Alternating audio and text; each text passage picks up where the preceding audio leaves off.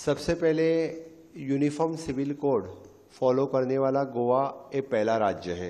इसलिए मुझे इसका अभिमान है और गर्व है कि गोवा राज्य में यूनिफॉर्म सिविल कोड सबसे यानी इंडिपेंडेंस से लेकर आज तक फॉलो करते आ रहे हैं। ऑनरेबल प्राइम मिनिस्टर ने ये बात छेड़ी है कि यूनिफॉर्म सिविल कोड किस तरह से होना चाहिए। तो मुझे लगता है कि it is up to the centre कि यूनिफॉर्म सिविल कोड कब से लागू किया जाए, ये तो सेंट्रल गवर्नमेंट की बात है। लेकिन मैं एक बात ज़रूर कहूँगा कि यूनिफॉर्म सिविल कोड में खास करके हम जो बात करते हैं, जैसे compulsory birth registration compulsory death registration compulsory marriage registration इससे गोवा में आज तक यानी birth death marriage registration compulsory हो रहे हैं।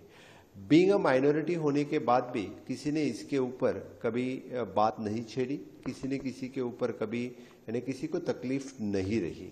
मुझे लगता है कि uniform civil code is an big boost for the women empowerment और वुमेन एम्पावरमेंट के लिए और जेंडर इक्विलिटी के लिए यूसीसी जो है वो बहुत ही इम्पोर्टेंट है।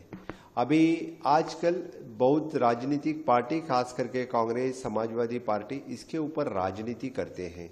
राजनीति करने वाले पक्ष मुझे लगता है कि वो जेंडर इक्वलिटी नहीं चाहते हैं वुमेन एम्पावरमेंट नहीं चाहते हैं, इसीलिए इसके ऊपर राजनीति करते हैं। यूसीसी पहले समझ लेना ज़रूरी है। यूसीसी किसी जात, धर्म के आधार पर नहीं है।